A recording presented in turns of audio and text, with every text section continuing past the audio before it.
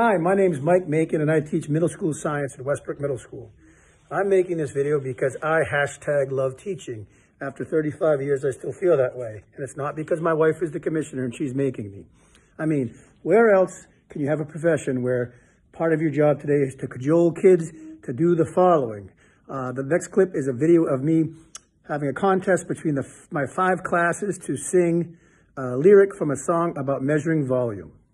Okay, this is period three.